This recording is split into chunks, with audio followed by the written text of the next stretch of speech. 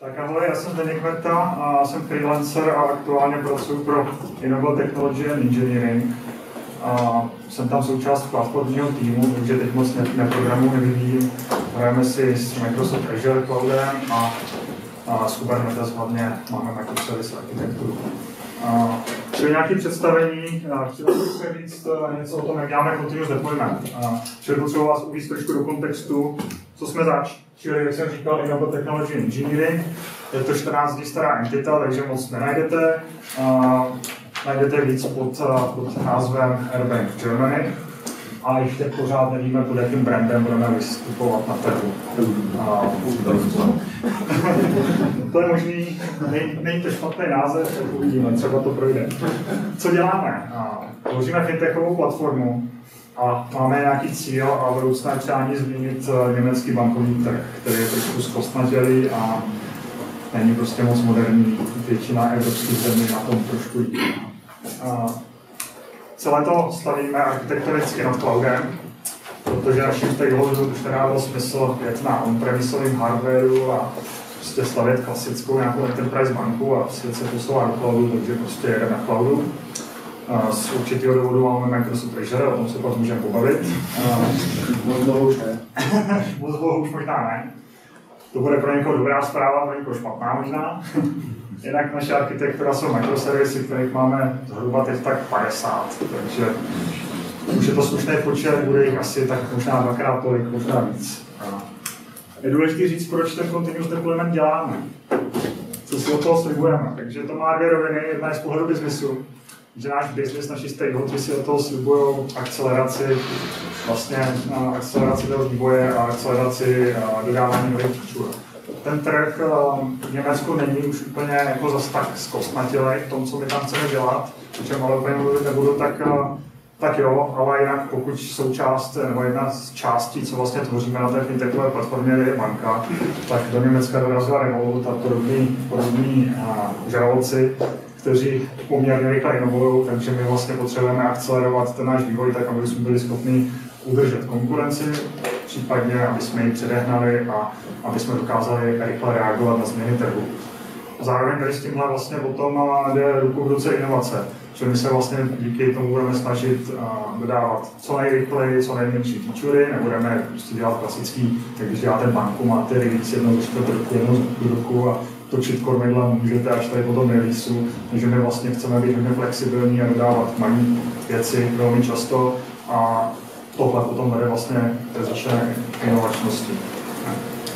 Další bod je flexibilita, to zase umožňuje právě tohle dodávání, umožňuje našim, našim biznisákům relativně, relativně jednoduše přeplánovat to, co budeme dělat. Dokážou rychle reagovat na požadavky, případně na změny na tom trhu a vlastně kdykoliv, dejme tomu třeba co sprint, prostě otočit tím kormidlem a změnit směřování a přeprioritizovat feature, které jsou potřeba dělat a dostat někam do produkce. Dál je důležitá část experimenty. To je klasika, prostě už budeme spíš řízení biznisovými metrikama a datově, což znamená, že vlastně biznisáci nebudou mít nějaký nebudou mít nějaký premisy o tom, jak se zákazníci budou chovat, ale prostě to uděláme tak, že tu feature vyvineme, vyvineme třeba v několika verzích a prostě vyzkoušíme a zjistíme, která podle biznisových metrik je lepší a to potom použijeme. Nebo prostě tu feature zahodíme, když je prostě na tom trhu nikdo nebude Takže nebude to zase jako ten půlroční roční vývoj, kdy já vůbec nevím, jestli to někdo bude chtít používat a zjistím, že ne a prostě propálil jsem půl roku času, tak tady vlastně si o toho slibujeme to, že budeme moct podle business metriky vyhodnotit a. A důležitá je samozřejmě rychlá zpětná vazba, což spolu souvisí. Klient nám okamžitě řekne, jako, ale tuhle feature ne, to se nám nelíbí, tohle prostě nikdo nechce používat. Zároveň se to dá dělat ještě tak, což plánujeme no, spouštět prostě featurey v režimech Friends and Family, kdy to prostě dám nějaký úzký skupině lidí, ideálně někomu z rodiny nebo prostě z firmy a ověřím danou funkcionalitu na ní. Čili tohle je z toho pohledu biznesu, co ten náš biznes o to slibuje. Z pohledu vývojáře je to zase o tom, že ten vývoj bude rychlejší. Vyvíjí se menší featurey velmi často, ten vývojář nemusí prostě v hlavě držet kontext, pokud máte třeba release prostě jednou na půl roku, tak je to hromada feature, který navzájem se musí integrovat a ty vývojáři, aby si nelazili pod nohy, tak musí udržet hlavě hromadu prostě kontextu ohledně těchto feature. Tady prostě pokud vyvíjím jednu nebo dvě feature v tom jednom sprintu, tak je dost velká pravděpodobnost, že to bude jednoduše, že nebudu muset tolik přemýšlet o tom, abych nerozbil tamhle nějakou funkčnost, kterou vyvíjí jiný tým a prostě už má 14 dní, měsíc, 3, 3 měsíce A tím, že se vlastně dělá v menších částech a relativně rychle, tak je tam i vyšší kvalita, protože prostě je mnohem menší pravděpodobnost, že strašně malé změny, strašně malý kusu kódu udělám nějakou zásadní chybu. A navíc je tam o hodně méně integrací. No, nemusím se integrovat mezi, když vyvíjím 50 feature naraz, tak se nemusím tolik integrovat potom, když vyvíjím jen, jen jednu nebo dvě. Čili tohle je ta motivace jak z biznesového pohledu, tak z pohledu vývojářů. A teď jak to děláme? A zaměřili jsme se na poměrně novou věc, eh, pattern, který se jmenuje GitOps, což je patent pro vývoj a zprávu systému. A hlavní premisa, už podle názvu GitOps, je to o tom, že vlastně všechno je vložené v Gitu. Git je pro nás jediný zdroj pravdy stavu, požadovaného stavu systému. U nás tohle teď používáme na ten Kubernetes cluster, používáme to na release microservice, čili vlastně ten stav těch služeb, ty příslušné verze jsou definované v tom Gitu. A dál ten Git je taky pouze jediná věc, přes kterou eh, se to dá. Eh, no. Zároveň díky tomu Gitu máme nějaký audit a máme dohledatelnost a verifikovatelnost toho, co kdo dělal. Jaký používáme technologie? GitLab. Tam používáme Git a GitLab CI, prostě Continuous Integration Pipeline.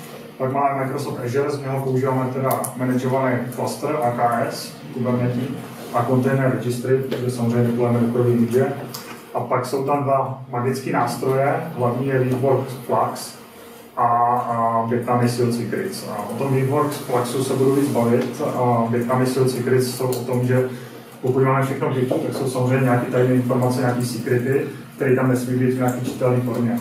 Tak ten Bitnami Seal Secrets tam můžeme tohle kryptovat. Teď se teda podíváme na obrázek, jak to vypadá. A potom přerušovanou čárou dole je ten náš produkční Kubernetes cluster, nahoře je spíš taková část, kam se dostanou developři. Fungují tam dvě, dvě role, developer a operátor. A typicky, když developer vyvíjí nějakou feature, tak ji vyvine, pušne do CodeRepa, celíčková pipeline a prostě provede to, co si tam ten vývojář nadefinuje, různých testů, a všechno možný a na závěr vlastně vybuilduje dokrový image, který se pušne do container registry tady eh, přichází ta magie a nástroj Rework Flux, který leží uvnitř Kubernetes klastru, poslouchá změny v container registry, čili se dozví, že tam je nová, nová verze nějaké mikroservisy. A zjistí si konfigure, což je další bytový repozitář, který udržuje vlastně konfiguraci a stav toho klastru, tak si zjistí, jestli tu službu zná, jestli ji má, jestli ji spravuje. Pokud ji tam najde, tak eh, vymění verzi toho image, komitne to, pušne do toho eh, konfiguračního repozitáře a v druhé otočce ten Newborn Flux si puluje celý tenhle repozitář a snaží se ho aplikovat přes Kubernetes API. Čili uh, pokud teda release novou verzi, container registruje image, Newborn Flux si zjistí tu verzi toho image, najde si ho v tom gitovém repozitáři konfiguračním, pušne tam tu změnu a ten samý vývoj Flux akorát o něco později si uh, stáhne ty změny v tom repozitáři a snaží se aplikovat ten Kubernetes cluster. Čili tohle je vlastně celá ta magie. Je tam potom druhá cesta, a to když nerevizujete kód, ale měníte konfiguraci ty služby. Uh, to u nás může dělat buď developer nebo uh, operátor.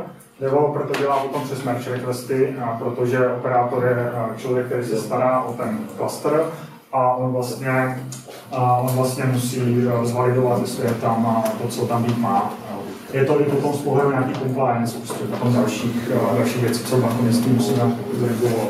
Koukám, že už mám málo času. Jo, jo. Takže tohle, co, co s tím budeme dělat dál. Jo? Tenhle způsob vývoje continuous deployment samozřejmě vede k tomu, že nemáme nějaký integrační prostředí. Prostě všechno jde okamžitě do produkce. Čili co musíme adoptovat? zpětně a dopředně kompatibilní vývoj. A to je prostě nutnost. A potom feature flagy, kdy prostě chceme řídit to, že se někam dostane nová verze služby, ještě neznamená, že release tam. Máme rozdělený deploy a release. Tudíž eh, feature flagama pomocí Launch Darkly můžeme řídit to, že už máme releasnutou nebo deploynutou službu, ale je funkčnost je schovaná za feature flagem a jakmile ten feature flag přenastavíme, tak se to spustí. To je ideální na nějaký, pokud, pokud tu feature dodává třeba 10 mikroslužeb, tak vlastně já v jeden okamžik odpálím tu feature jako release přes všech těch 10 mikroslužeb. Další, co je s tím spojené, jsou Canary releasy, tam máme tu Istio, který ušáváme.